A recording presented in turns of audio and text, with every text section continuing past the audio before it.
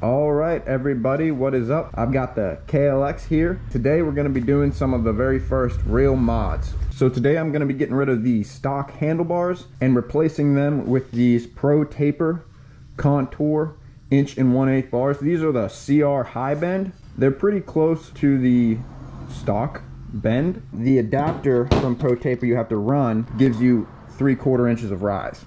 So I think that'll be nice. It'll get the, the bar up just a little bit higher for me, when I stand up, I kind of have to really reach down to, you know, be comfortable on the bike. So that three quarter inch, I think is going to be nice. We're also going to be putting on these generic bark busters.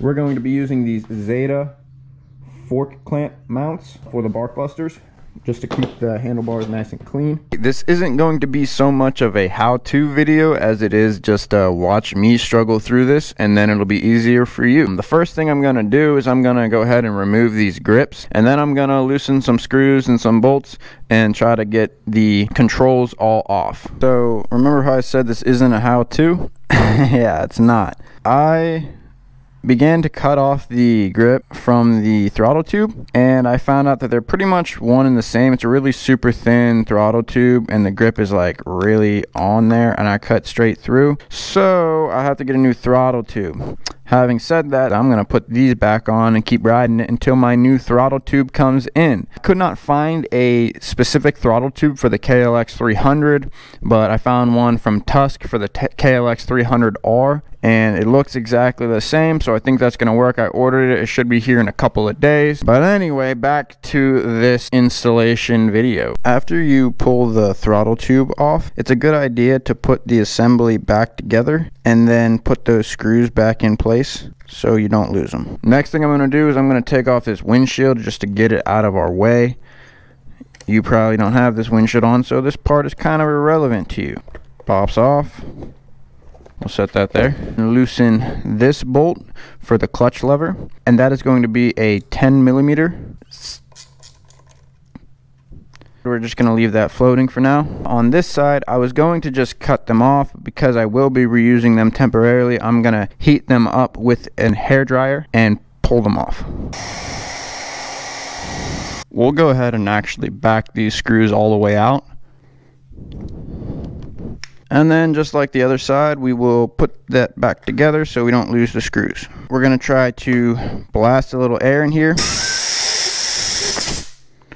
And just like that, I'm surprised that worked that well actually. You can see all the adhesive. Now that everything is either off the handlebars or loose on the handlebars, we're gonna go ahead and take these clamp bolts off and then we'll be able to take the bars off and we should be able to slide these controls off the end. These clamp bolts are also a 10 millimeter.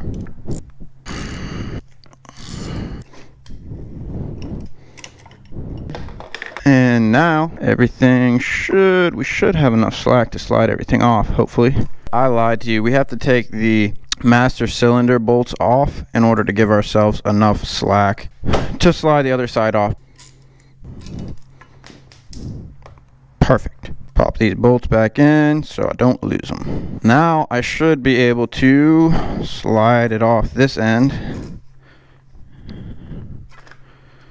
Bingo bango. Stock bars are off. I don't know that I bent them. People said that they're really cheesy and easy to bend. They might be tweaked actually now that I'm looking at it. I think this side is tweaked a little bit. Because I did lay this lay this bike down a couple of times. Oh yeah, they're definitely slightly tweaked. It's like this side is pulled forward while this side's pulled back. Good thing I got some new ones. They actually might not be, it's close. But they're actually a little bit higher than the new ones, but then the new ones have three quarter inch rise. I don't know, we'll see. Old versus new. I got the platinum in the Pro Taper. I think it looks pretty slick. I thought it would look good with the uh, Zeta clamp mounts for the um, bark busters and look good with the overall color scheme you know everything's black definitely could have gone black but figured I'd try something different.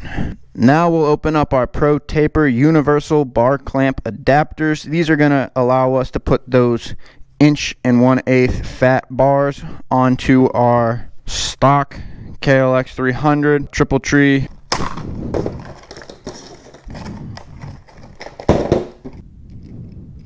You see that piece just fits into where the old bars went. The bolts for the top clamp piece should be facing out. So it shouldn't go like this. It should go like this.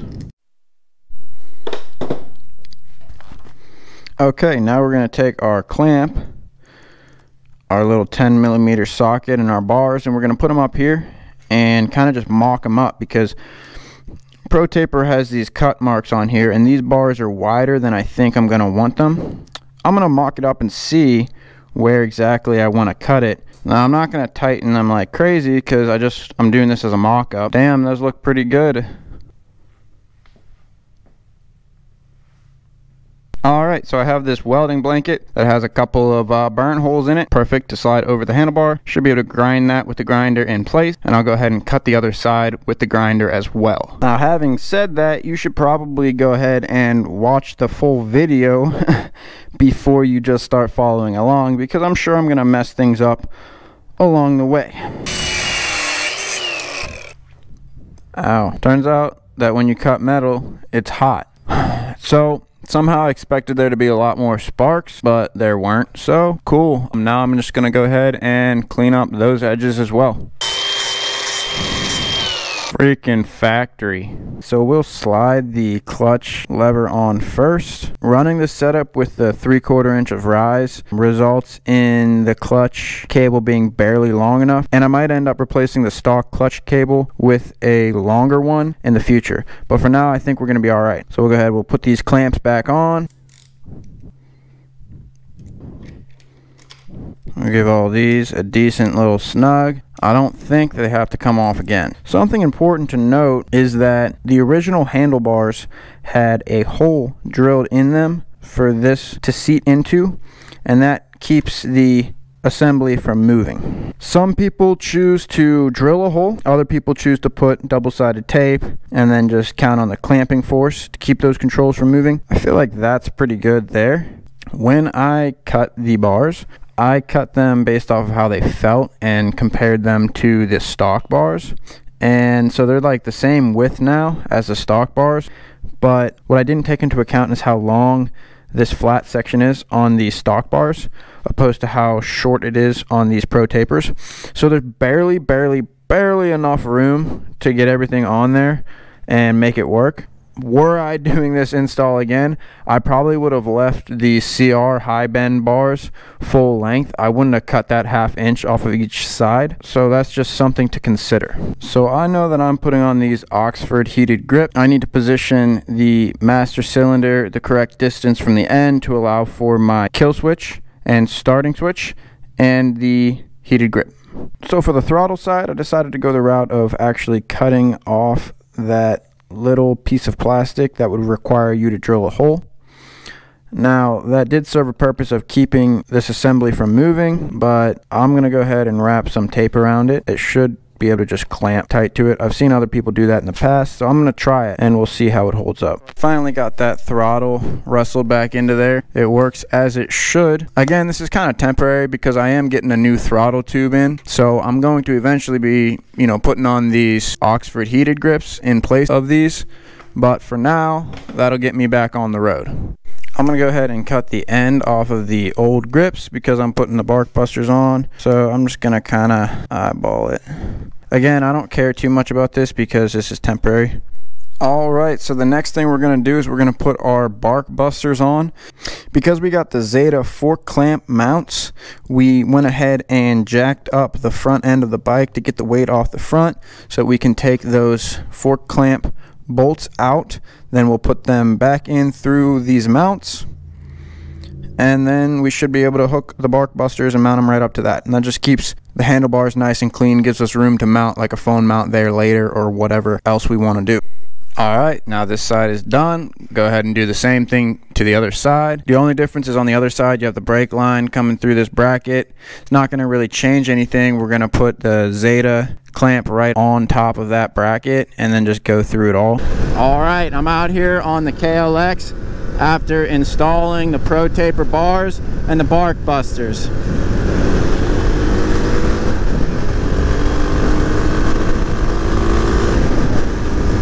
It feels so different without the windshield on. I've gotten so used to riding it with the windshield on. It's like riding a bike without a helmet now, you know? Once you take the windshield off, it's like, whoa, I feel so exposed. It definitely feels taller. It feels like a bigger bike now. I don't know. That might be weird, but I think it feels taller. If you're looking at doing this, anything with a higher rise, just go ahead and buy a new brake line because it's a little bit tighter than I want it. I mean, ultimately I got everything in there, but the clutch lever too is a little bit tighter than I would like it to be. The biggest thing is I would not have cut those bars at all because I had to put uh, the clutch a little bit further this way than I wanted. So it's starting to get into that curve there. So because of that, when I pull that clutch in, it's like up higher than it should be. I don't know, it feels just slightly odd. And I might get used to that or I might have to do something to fix that. Other than that, I'm pretty happy with the install. I think it looks pretty cool. I think it feels pretty good. It might just be something I got to get used to with that clutch too. I don't know.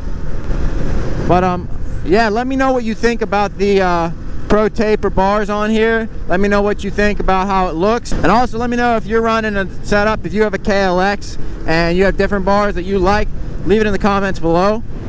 I definitely think while the weather's warm, I'm gonna leave the windshield off. I kind of like the way it looks and I definitely like the way it feels without it. Also, I feel like the windscreen created a lot of wind noise in my helmet because like the wind went over my body but hit me right in the helmet and uh, it made it really loud in here. So now like without it, it feels quieter in the cockpit. I think I like the Pro Taper bars so far. I think they look cool as hell. Um, standing up, it definitely feels better for me.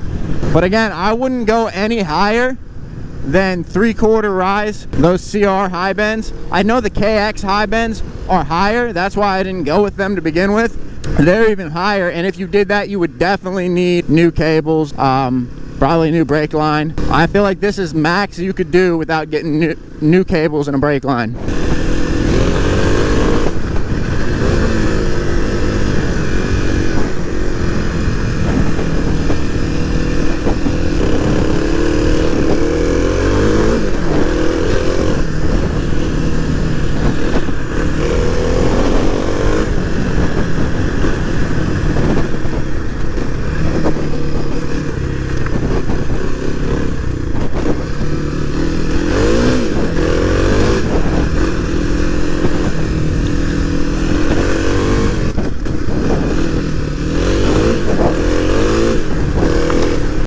Well, shit. Last time I was down these trails, I was on a pit bike. I don't feel like trying to get around that, so I'm to turn around. I know there's a trail that comes out up here somewhere. There it is.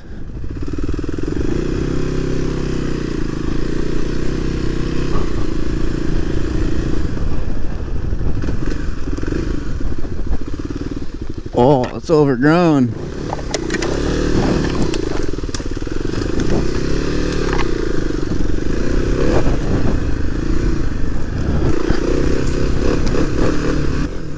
Oh, there's the trail I was looking for.